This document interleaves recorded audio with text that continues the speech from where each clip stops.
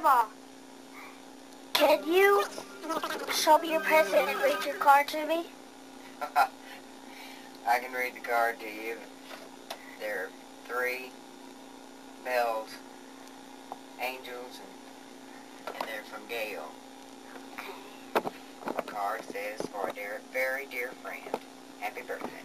You're the kind of person who so graciously display, displays real warmth and understanding by your kind and caring ways, who always has a smile to give and a helping hand to lend, and proves in every way to be the nicest kind of friend.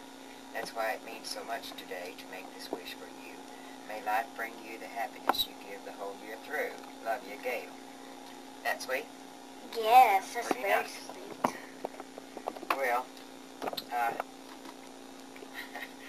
you're always wanting to use that camcorder, but I think we've had about had enough of that right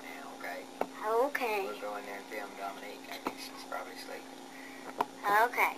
Turn it off and we'll go do something else, okay?